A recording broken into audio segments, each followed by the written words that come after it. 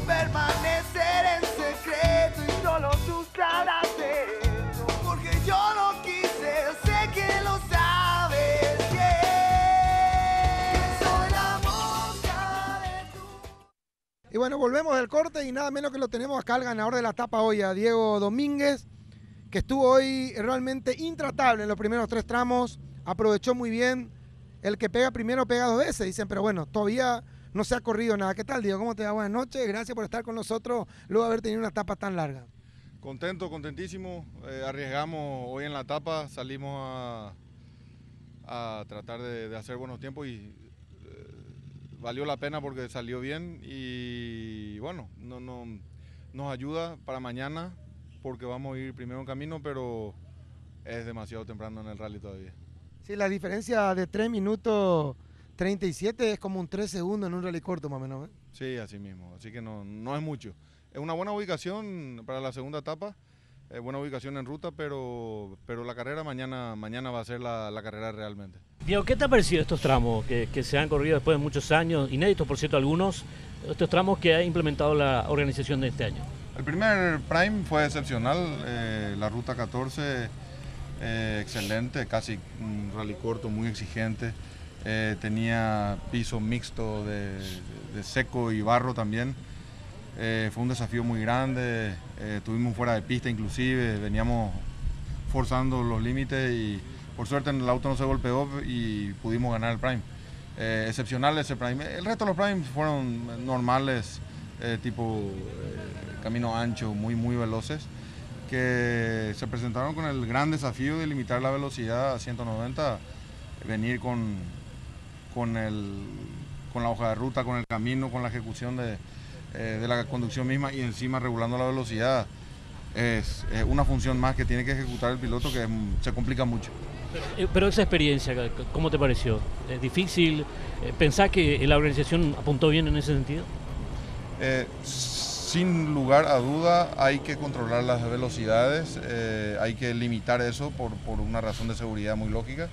Eh, yo creo sinceramente que la mejor manera de, bajar las velocidades es eh, eligiendo caminos eh, mucho más difíciles, mucho más complicados. es difícil ya encontrar hoy caminos de ese tipo, pero creo que, que, se pueden encontrar todavía como para armar un lindo rally del Chaco. Diego, hoy le decía Lucho en el bloque anterior, por lo que vi o por lo poco que pude ver en la, las veces que vi los autos, ustedes fueron todo el día con G2, nadie usó la H1, o sea, prácticamente en este rally no se van a usar la H1 o en alguna parte usaron. Nosotros usamos todo el día H1 excepto en el primer prime. Eh, solo en el primer prime usamos eh, las ruedas de rally corto. Eh, de, después to, totalmente H1. Ah, yo, me, yo, había visto un par de veces con la G2. O sea, ¿fueron con H1 ustedes? H1, sí. O sea, el, el domingo, de, de, ir todo bien, volverían a, a, la vuelta con la H1 también y solo tendrían para un prime la G2. Muy probablemente, sí. ¿Y para mañana?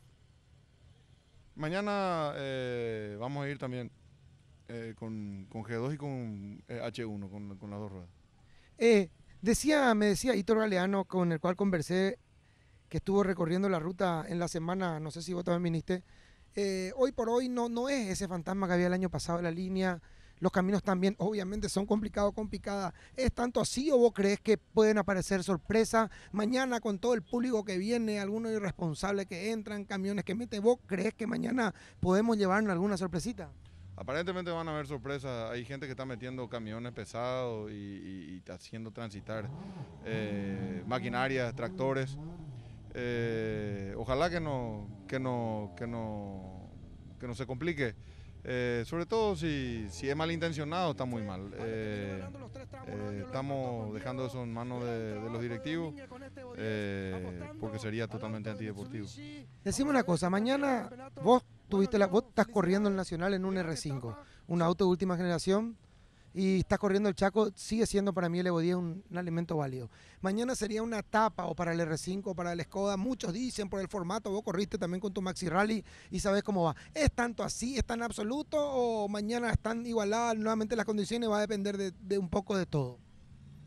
Yo creo que en el Chaco permite de que varios tipos de autos sean competitivos y estoy seguro de que de que nuestro auto va a ser competitivo mañana, eh, justamente por eso lo, lo elegimos, eh, es confiable y, y, y, se apresta muy bien para la situación y condiciones de terreno para mañana. Sí.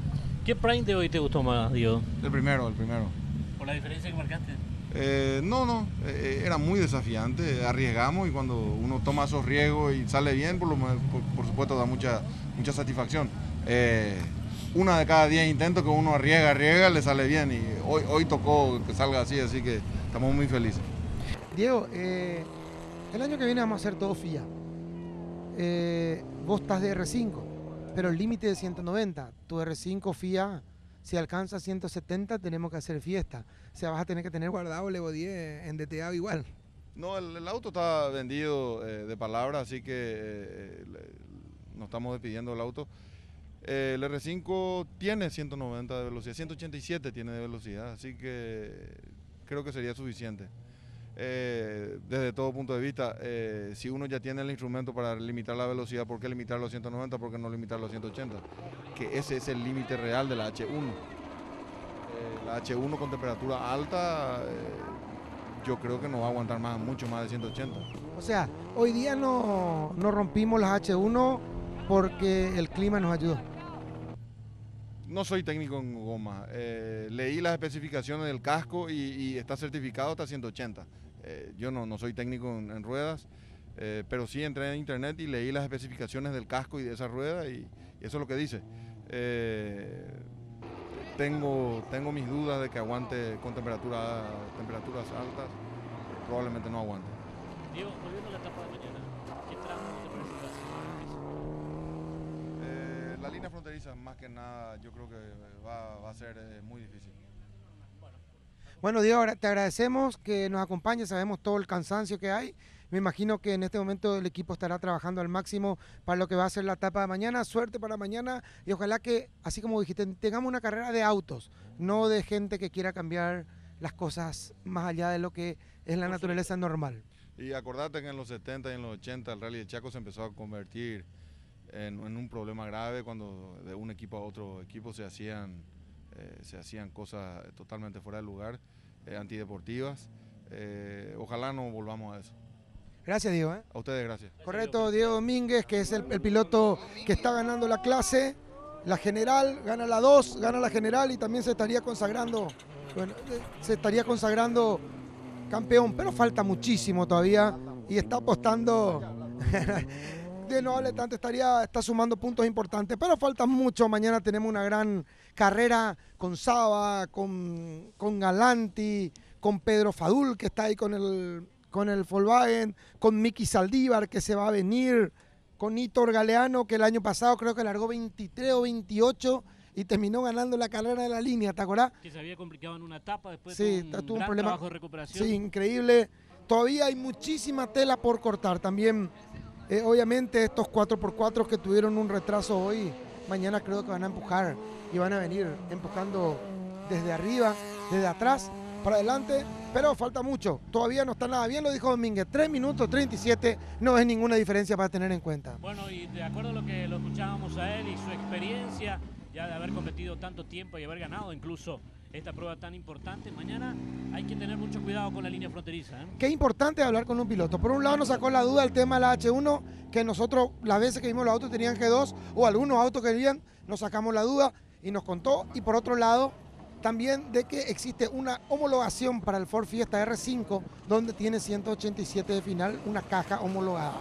Con lo cual estaría resuelto el tema, ¿no es cierto? Pero yo también estoy de acuerdo que al ser los autos todos FIA, el Skoda, el Ford, el Mitsubishi sin la caja sexta, eh, creo que eh, ciento- así como este año probamos 190 y no fue bien, creo que con 180 ya sería bastante más lógico, ¿no es cierto?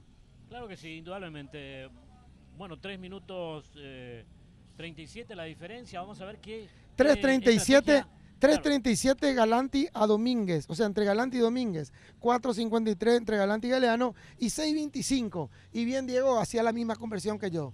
Digo, los minutos acá son segundos. Claro, por Eh, eso, podemos ¿cuál- decir como que está a 3 segundos 37 a 4 segundos 53 ¿cuál, se- cuál sería la estrategia, por ejemplo, del equipo Toyota con Alejandro y salir a matar o morir. ¿Qué estrategia? es, es la etapa para, para eso. ¿no? No, para todos. O sea, no hay, además, hoy no sé si fue Marco, perdón, si fue Alejandro o si fue otro de los pilotos que llegó a la rampa cuando hacíamos nota hoy en la tarde, bien temprano cuando llegaban los autos, que me decía, eh, no solamente se reduce a mañana, tenemos que volver a repasar estos caminos que hicimos hoy y la etapa de hoy no fue para nada light. ¿No es cierto?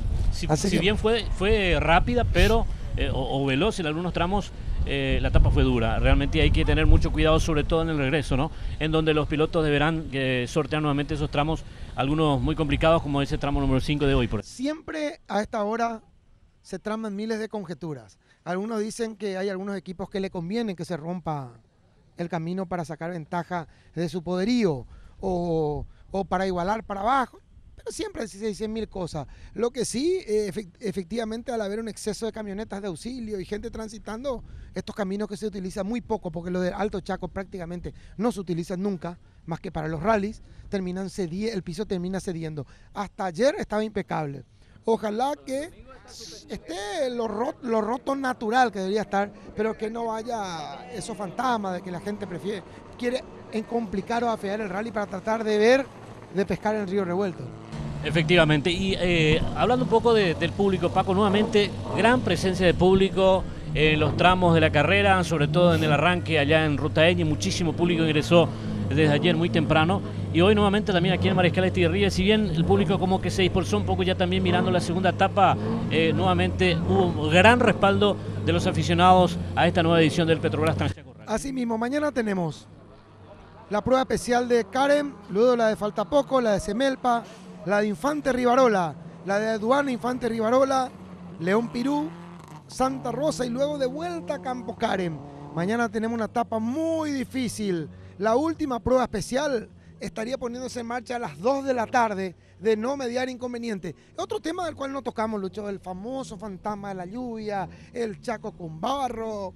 El fantasma solamente estuvo en la previa cuando todo el mundo decía que no se iba a correr la ñ y el único que se mantuvo siempre en el plan A fue don Edgar Mola que terminó ganando la batalla contra los escépticos.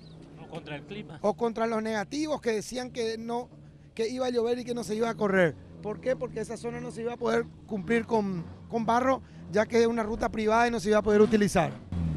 Definitivamente se pudo cumplir bien el cronograma, como habíamos dicho anteriormente, y este Petrobras tras Chaco Rally 2014 tiene muchas emociones todavía por delante, sobre todo con la segunda etapa, en donde tendremos tramos muy importantes y muy cuidadosos, por cierto, para los pilotos. Hasta el momento, recordemos que tenemos 41 Mac autos clasificados. Por supuesto que aparecerán otros autos. De las 55, ¿no? De las 55, que partieron, eh, una buena estadística y obviamente en horas de la noche y mañana a la hora de partir, cuando nuevamente se actualicen los cómputos, tendremos algunos otros más. Y también los reenganchados. Por ejemplo, hoy el piloto Costa del Honda había tenido un fuera de pista en el kilómetro 7 nada más iniciada la competencia y automáticamente comunicaba que iban a reparar el auto para su reenganche. Bueno, sin dudas algunas tripulaciones se vieron con la sorpresa muy tempranamente pudieron, tuvieron que abandonar la carrera, como el caso de, también de, los Ortega, que como lo habíamos mencionado anteriormente, tuvieron un vuelco y lamentablemente eh, dejaron la competencia. Pilotos que no tuvieron un buen día hoy, que nos acordamos con Lucho. François Marré rompió un cardán, quedó fuera. Lucho Ortega. Estaba octavo, Marret. Eh, Venía décimo, octavo, después eh, quedó un poco más atrás. Lucho Ortega en la posición cuando estaba en el. Creo que a los 13 kilómetros tuvo un fuera de pista, un vuelco, perdió prácticamente dos horas. Luego tuvo un par de llantazos. Hablamos de un piloto protagonista siempre, se, fue, atrás. Eh, ahora estaban negociando justamente para mañana, obviamente por seguridad lo van a alargar bastante más adelantado. Por ejemplo, algunos de los que sabemos que tuvieron problemas de los de punta, que habitualmente están ahí arriba, y algunos abandonos que ya estaban previstos, que ni siquiera alargaron, que cumplieron con el simple trámite de la largada simbólica y la largada del primer tramo. Vamos a una pausa comercial y luego seguimos con mucho más Petrobras en su edición número 41 Trans Chaco Rally. Corte.